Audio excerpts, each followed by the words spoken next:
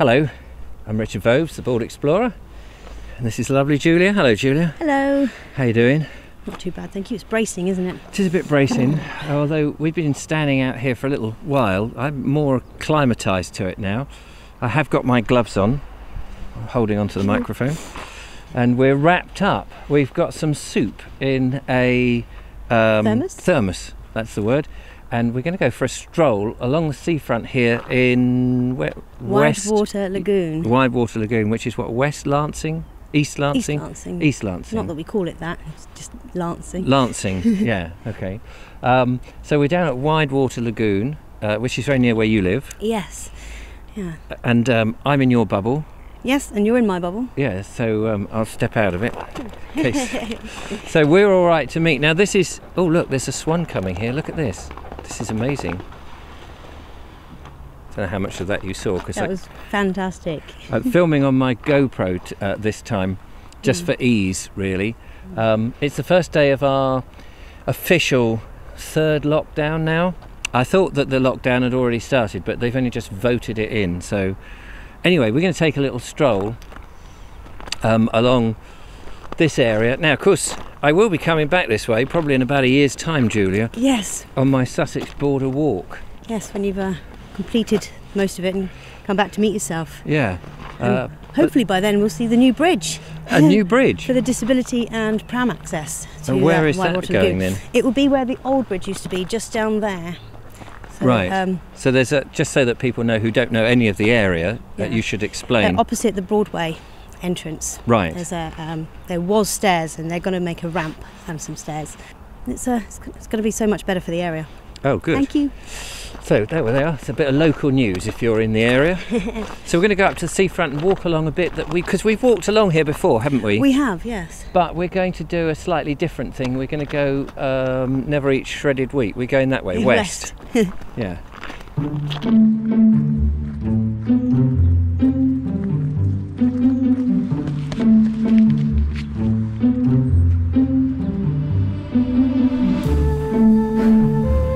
Sign up ahead, Julia, Mm, that says Eastern Sands. yes, it's a lovely little static caravan park. Yeah, now when I was a, a kid, it used to come down here. I, I'm sure it was called White Sands. Um, Or is that further I along? think because there are several here. There's this one. There's one down at West Beach, and then I think there's there's another one further up there. Ah, oh so right. That could be White Sands. Oh, okay. But it's quite, it's uh, very popular, isn't it, to have the static caravans down here? Yeah, yeah. As well, for as long as I've lived here, um, it's you know been it's definitely been a part of the uh, long-term history of Lancing. Yeah, and and actually, that's, I mean, all along here has been that whole business of people first coming down in old railway carriages. That's right, and setting up little homes with them, and then eventually building a house around them. Yeah. So yeah, And and I mean that's true down in Pagham and over at uh, Shoreham. Shoreham Beach. and- Um, yeah, and it's and even in Goring, I think they were doing that, which is quite amazing. So, although it's resourceful, I think. yeah, so static caravans are sort of a throwback to those days, really. Yeah, in many ways, I think. And of course, great holiday homes Absolutely. and uh, bolt holes. Perhaps if you're trying to hide from members of the family who've got some dreadful virus, which apparently is going round. Anybody know anything about that? So we're going to carry on. We've got the sea just over in front of us. Shall we go and have a quick look at the sea? yeah, It's very calm. it's blinding at the It moment. It is blinding. Well, the sun's blinding, not the sea. Well, I'm being pedantic. it's reflecting off the sea.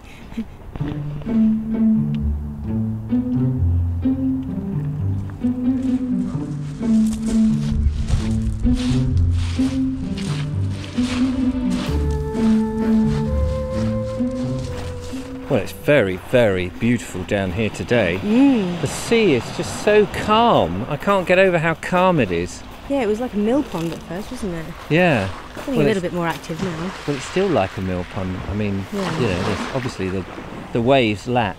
We're just looking at the um, pebbles on the beach. We've got a viewer to the Vobes show, my sister um, program on YouTube called um, Nootka Sea Glass, Yes. Who goes around the beaches in Norfolk picking up sea glass. Bits of sea glass that have been, well, bits of glass that have been processed by the sea and weathered down over decades and sometimes hundreds of years. So just explain what the glass. Where does the glass come from? Well, glass comes from human activity, and uh, you know, you mean as in bottles? yes, Yes. bottles and jars and and well anything that That's found its way. Yeah. Yeah, So the so these bottles and things they found their way into the sea, mhm, and then as you say, been over- broken down and then been worn down into really smooth pieces of. Uh, Fascination. I used to Right. collect them when I was a kid. Um, I haven't seen many around on the southern coasts. Well, on this stretch. between here and Hampshire for a long time, but Portsmouth used to be full of it.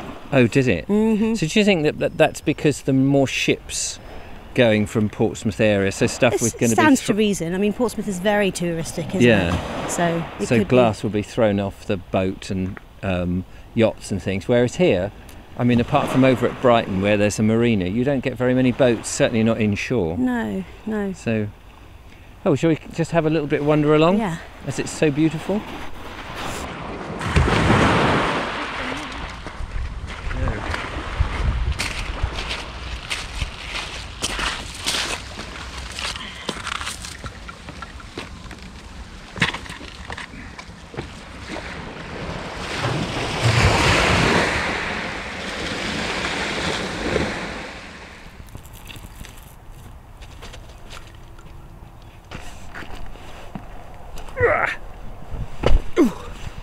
We're back on the beach. Uh, sorry, we're back on the prom, and uh, we're going to have a look at the beach huts.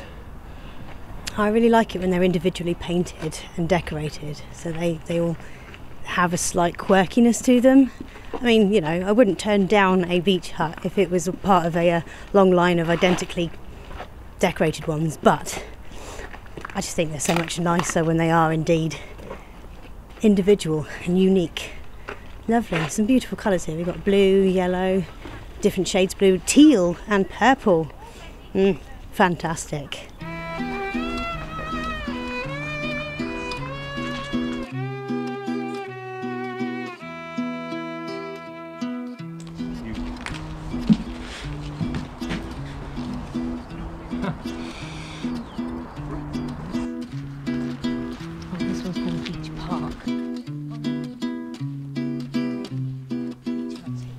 Behind these lovely coloured beach huts, Yes, as we've gone further west. west.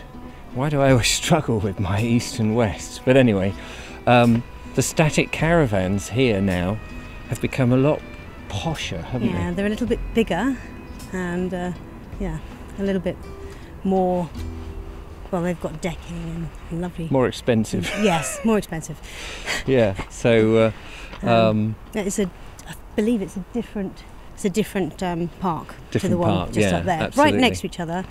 Um, I don't know if this one's called White Sands I don't know. No, because I, I, think the um, all, all Beach Park because I'm not sure if it's just the beach huts that are called Beach Park. right. I don't know. No, you only live here. I only, yeah. Yeah. but I've only lived here what six years. Yeah, that's right. Why would you know in that six years? Goodness. Um, but then after these this series of beach huts, we come to Beach Green, Yes. And Beach Green you know quite well because there's the Perch, Yep. There's which the is a which is- restaurant type yes, cafe. Yes. Yeah, very, I remember that when it was a green shack. Yeah. It was a shed that um, a glorified shed really, um, quite a large one, little cafe Mm. with your kiss me quick hats. Well, I've I'm sure I've seen photographs and heard stories of an old cottage that used to be there, old bungalow type cottage or something, and that was the Mermaid Cafe for, oh, for right. many, many, many years. Ah, yeah. um, that's, and I'm sure hundreds of thousands of people have lots of fond memories of that.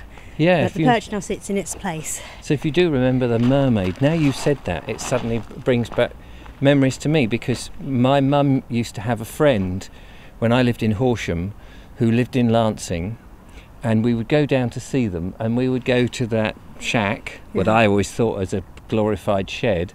But now you say it's a mermaid cafe, that comes back. So let's go over there and have a look and see what it's like now. Let's go.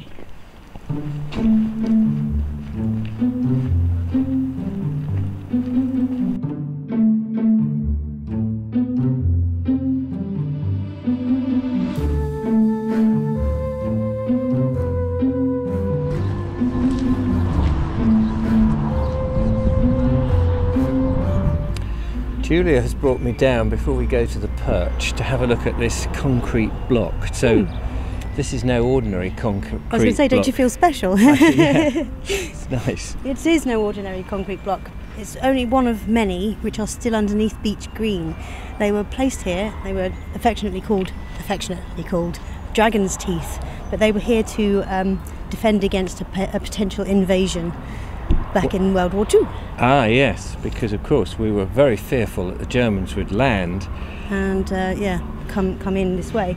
So, these are sort of anti-tank, anti-landing yeah, vehicles. these these were put in many of the uh, the southern seaside resorts for this reason, but they never actually got removed from Beach Green, and actually they they're, they're still under the grass. Oh. But it's been built up and up because they keep you know putting more on, Yes. um, more earth and things on to uh, build it up.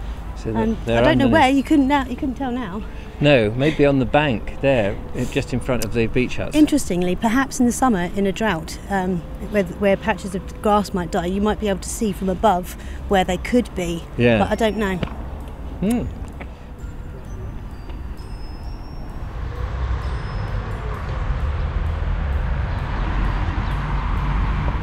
We've made our way up onto uh, what looks like a, just a Slight embankment of some yeah, sort. Yeah. embankment with weeds and all sorts of things. Very different from the rest of Beach Green. which is very flat. yes. But that's because this, I believe, to be the air raid shelter that was um, that just rediscovered in relatively recent years.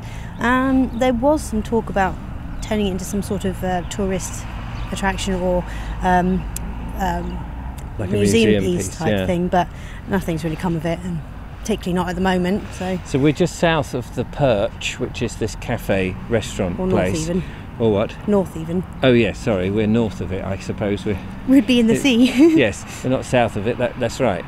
See, I told you, compass points, no good.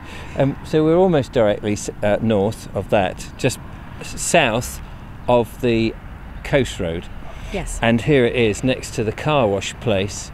And um, if I come back, you'll probably see a bit more of it. And actually, some time ago, a couple of years ago, I think, somebody came forward and said that they would um, ask the council to see if they could get permission for me and them to go down and film in there. So if you are still watching uh, my stuff, it'd be lovely to do that. Perhaps you know after COVID and when social distancing is no longer a thing, to go down into the air raid shelter.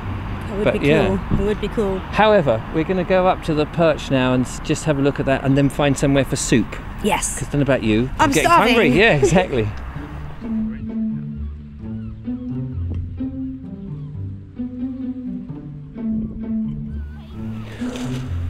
well, the um, perch is behind us, just up there behind us. We've come down to the rocks, and we're going to have our soup now, and um, we've got some pork pies, well, bacon and cheese actually, and some bread.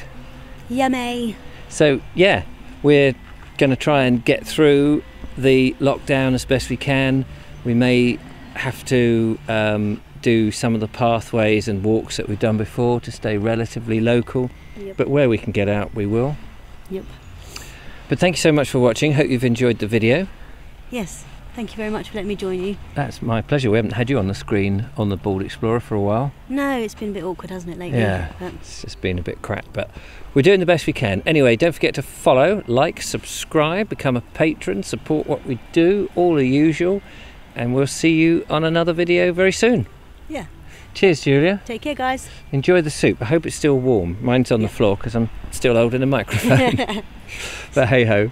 See you next time. Stay safe. Bye. Bye.